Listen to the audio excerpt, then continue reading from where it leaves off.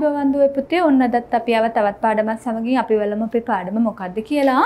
ඊට කලින් අපි මතක් කරනවා එක ශ්‍රේණිය ඉතිරි 13 ශ්‍රේණිය දක්වා පැවරුම් සහ ප්‍රශ්න පත්‍ර tuition.lk වෙබ් අඩවියෙන් ලබා ගන්න පුළුවන්. මේ සෑම වීඩියෝ එකකටම අපිට පැවරුමක් තියෙනවා. ඒක ගන්න අරගෙන කරන්න අපේ පාඩම තමයි පුතේ කාසි හඳුනා ගැනීම. පුතල්ලා කාසි කියන්නේ මොකක්ද කියලා දන්නව නේද? ඔයාලා කියන්නේ සල්ලි සල්ලි සල්ලි කියලා. මුදල් මුදල් කාසි. හැම එකකටම පුතේ කාසි නැහැනේ. කාසි කිහිපයක් තමයි අපි අතර තියෙන්නේ. කාසි මොනවද කියලා තමයි අපි ඉගෙන ගන්න යන්නේ. අපි භාවිතා කරන කාසි පුතේ මෙතන තියෙනවා රුපියල, රුපියල් රුපියල, රුපියල් දෙක. ඊට පස්සේ රුපියල් පහ.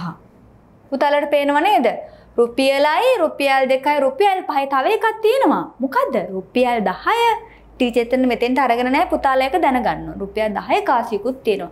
අපේ රටේ පුතේ මේ වෙනකොට භාවිතා වෙන කාසි තමයි මේ අපේ රටේ.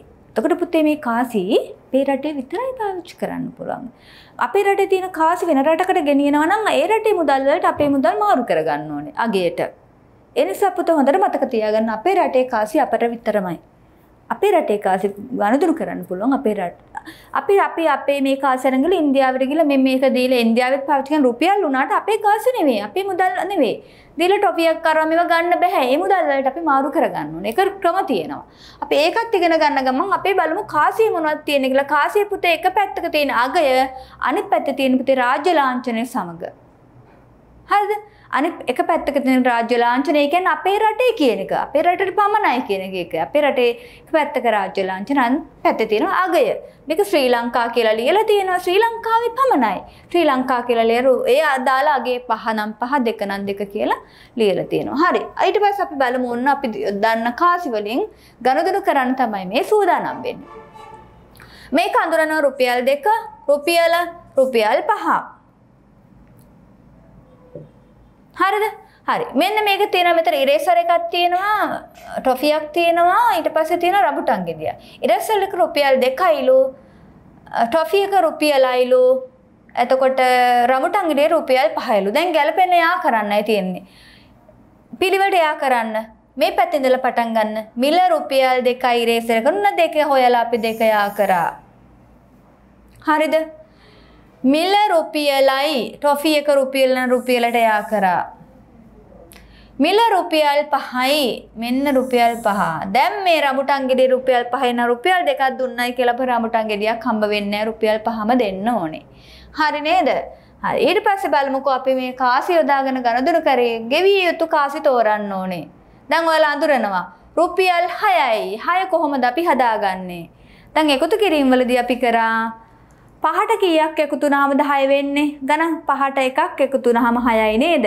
දැන් අපි පහට රුපියල් පහට රුපියලක් එකතු වුණොත් 6 හැදෙන්නේ නැද්ද?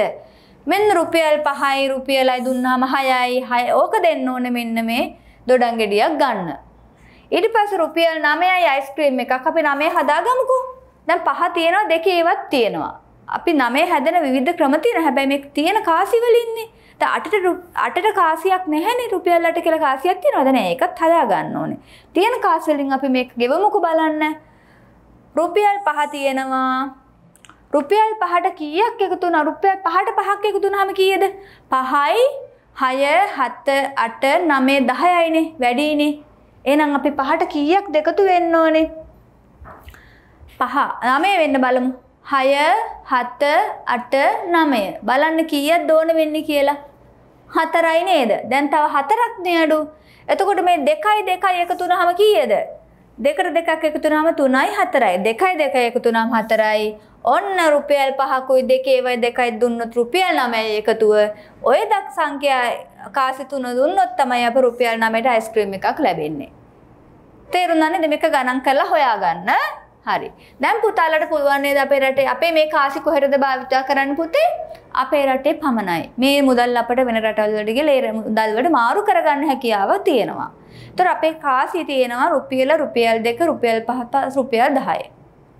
රුපියල් 10 කියලත් කාසියක් තියෙනවා. ඒතර ඒ කාසිය අඳුර ගන්න කාසියක දෙපැත්තක් තියෙනවා. එක පැත්තක රාජ්‍ය ලාංඡනය අපේ රටේ අනන්‍යතාවය අපේ රටේ පමණයි කියලා එක අපේ රටේ විතරයි.